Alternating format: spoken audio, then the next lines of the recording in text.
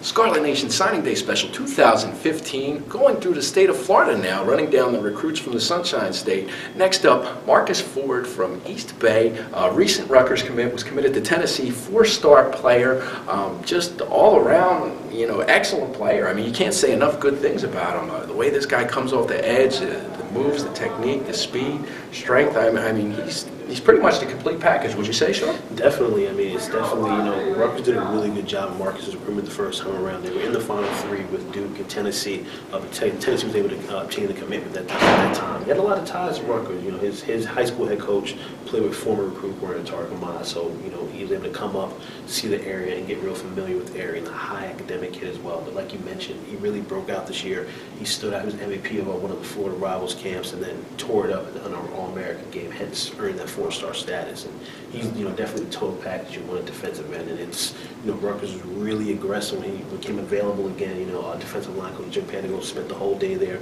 at his high school and, you know, basically left with the commitment of Marques Ford. And you know, he, it was a unique commitment, or unique uh, reopening of the commitment. Um, what he did, or his recruitment, I'm sorry. He, Joe Coach Panagos was the first one there. You know, in the morning, the day after he opened up his commitment, and basically was beat all the other coaches to the punch. Um, he was there before anyone else. And really, that really made a difference. And, you know, sat down when he talked to Marques, talked to him about, you know, everything but football first. And I think he appreciated that, you know, knew right away wanted to come to Rutgers. And, and they're really probably the best recruit in this class uh, coming in. Uh, Marques Ford, just a high ceiling, does a little bit of everything well. And I could see him playing early at Rutgers, um, contributing as a defensive end, true freshman, uh, has that kind of special ability.